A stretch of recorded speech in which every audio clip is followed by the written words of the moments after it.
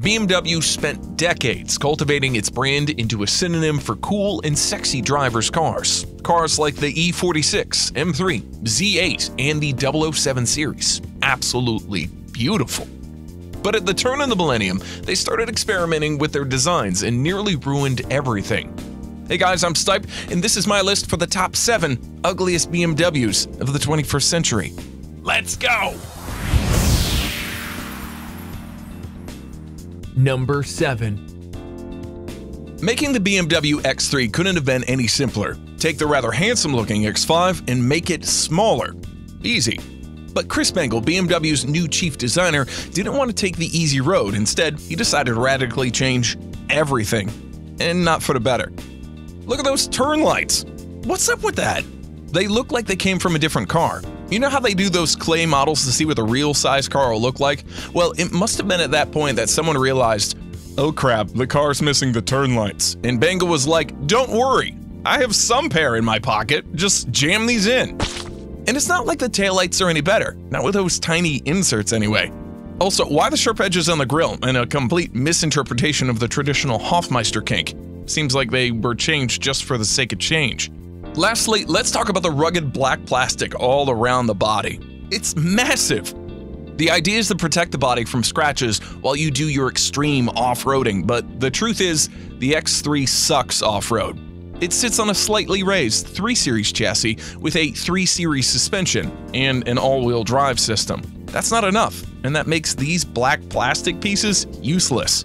And because the plastic is so massive, every X3 looks more like a budget SUV than a rugged one. Actually, it's not an SUV.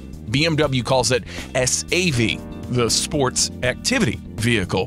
Which activity they had in mind, I wonder? The activity of gouging out your eyes, maybe? Number 6. The latest Z4 isn't exactly hideous. Don't get me wrong, it's not pretty either, but the reason it got this spot is because it could have been the prettiest BMW ever made. Just check out this concept car.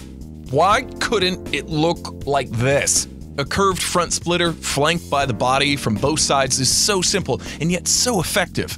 There's a much rounder kidney grille that has a sort of shark nose angle to it, and more aggressive, more piercing headlights make it look mean as hell. Check out this side angle. It looks like a torpedo. Now, back to the production car. Headlights are larger, more bubbly, and less menacing. The grille sits upright, so the shark nose is gone too, but the worst is the front bumper. Lines here and here and here and here, and these two don't even meet. Shapes overlapping, stretching. I don't think they could have made it more complicated even if they tried. The shape of the side skirts is toned down too, and the rear was ruined by this gigantic indentation for the number plates. Why do any of that? Why did they make it uglier? Most people were disappointed by the Toyota's car, but for a professional graphic designer like me, the unveiling of the BMW Z4 was an even bigger letdown. Disappointed! Number 5. Most people will point to the X6 and call it ugly, but there's no denying the fact that the aggressive lines, massive wheels, and the immense size do give the X6 a huge road presence.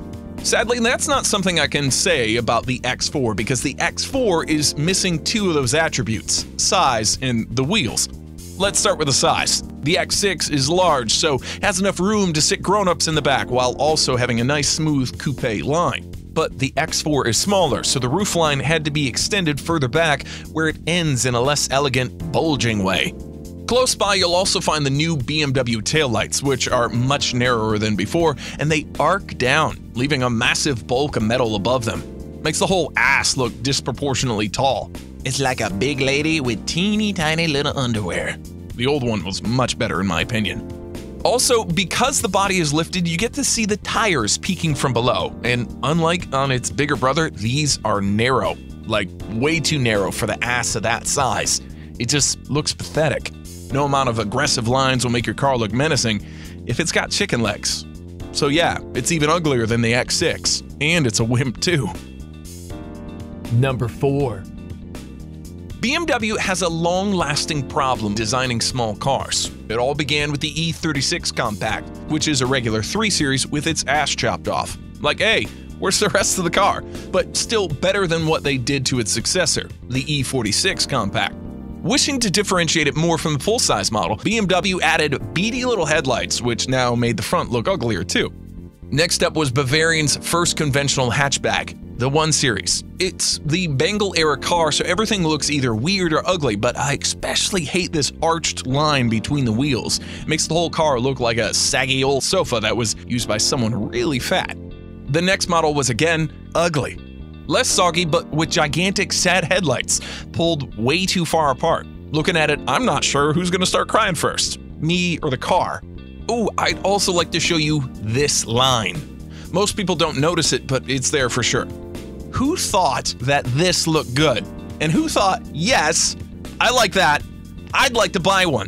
The facelift did fix the front, but then it ruined the rear. And as for the latest generation, well, that's just a squashed down 2 Series active tour minivan with a piggy nose.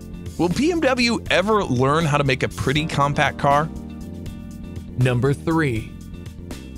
I'm really struggling to like this emotionless lump of metal that looks more like a fridge on wheels than a car. It's the iX, a forced attempt to make a cool and futuristic looking EV at the expense of everything that made all other BMWs so recognizable and loved. Let's talk about that oversized grille.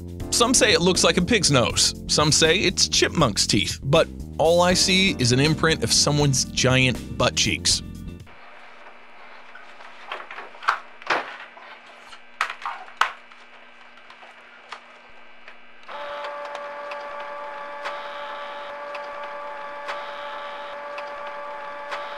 The iX has an ass face, and now that you've seen it, you can't unsee it. But for me, the side is even worse. It's just featureless. The only lines are the wheel arches, and they're the wrong shape. Also, the side skirts are hanging way too low, which makes the car look as if it's dragging its fat underbelly all over the road. And look at the rear end. Because the glass ends too soon, the back feels extended way too far back, with the trunk door looking like it's been tacked on. Here, let me fix that for you. I could go on and on, but let's cut it short. It's ugly.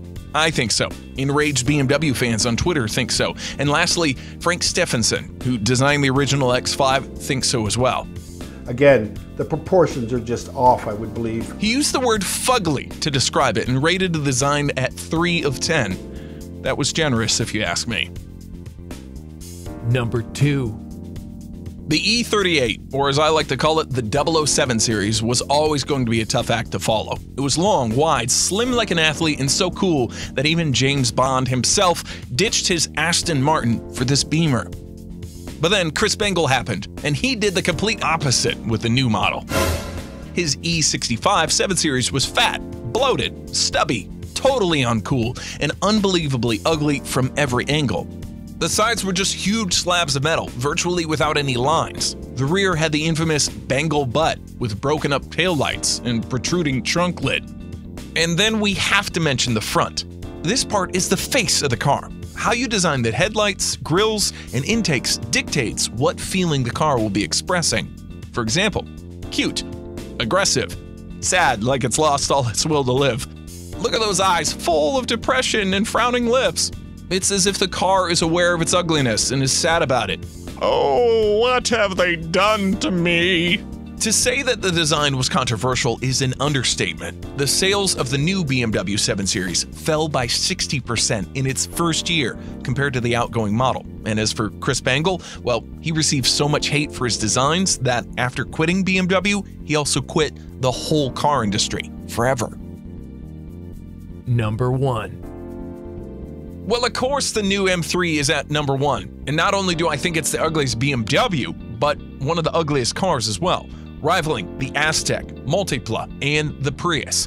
Let's start with the elephant in the room that horrendous front end. On the regular 4 Series, the gigantic vertical grille is much smoother and it fits better with the rest of the car, whereas the M models, it's all sharp and angular. These edgy geometric lines come from the new BMW design language found on the electric concept cars and they were just forced onto the current models. Newsflash, they don't work. The rest of the front is also a mess. Nothing makes any sense. I mean, what happened to the bottom part? Is this really the best solution? The grille should have never gone all the way down, splitting this area into two. It should have been like on the CSL Hommage. Still big, but much better. And what's with all the lines, each going their own way? Nothing is connected. It's not a cohesive front, just a bunch of shapes scattered all around. The rear is also bad. I never really liked those taillights stolen from a Lexus, but what's really bothering me is what's happening below them. First, there's this tall, encompassing line, then this sagging, extruding bumper, and below it, another level from a diffuser. You can get one more step with the Performance Parts package, which adds a fourth extrusion around the central exhaust tips. This, in my opinion, looks awful. As if the car has hemorrhoids, you know, those pimples on your asshole. The new M3 is just ugly, and I reckon the aftermarket companies will get very rich selling body kits for it. Alright, here's some more ugly BMWs.